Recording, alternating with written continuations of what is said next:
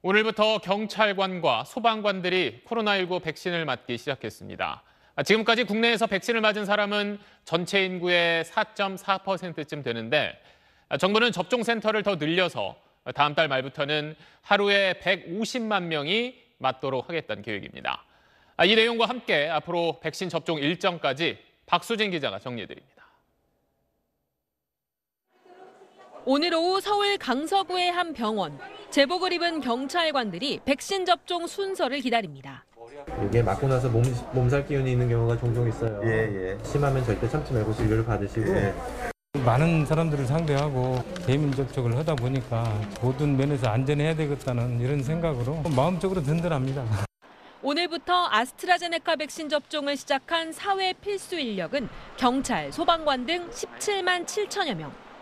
의원이나 약국에서 일하는 보건의료인과 만성 신장질환자도 아스트라제네카 백신을 맞기 시작했습니다. 희귀 혈전증 부작용 우려로 30세 미만은 제외됐습니다.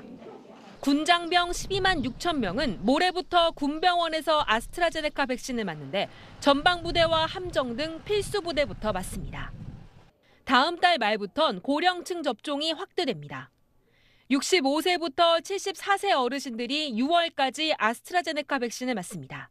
5월 하순부터 70대 이상 어르신부터 예약을 받고 순차적으로 65세 이상 그리고 그 아래 연령층 이런 식으로 고3 학생과 교사, 초등학교 1, 2학년 교사는 예정대로 상반기에, 나머지 교직원과 종사자들은 여름방학까지 접종을 마칠 계획입니다.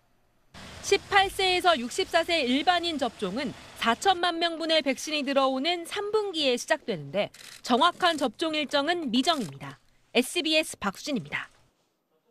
네, 안녕하십니까. 김현우입니다. 더 많은 뉴스와 라이브 이벤트를 보고 싶으시면 화면 오른쪽을 눌러서 구독해 보시길 바라겠습니다. 또 저희 SBS 앱을 다운로드 하시면 속보 알림도 받아 보실 수 있습니다. 항상 저희 SBS 뉴스를 시청해 주셔서 대단히 고맙습니다.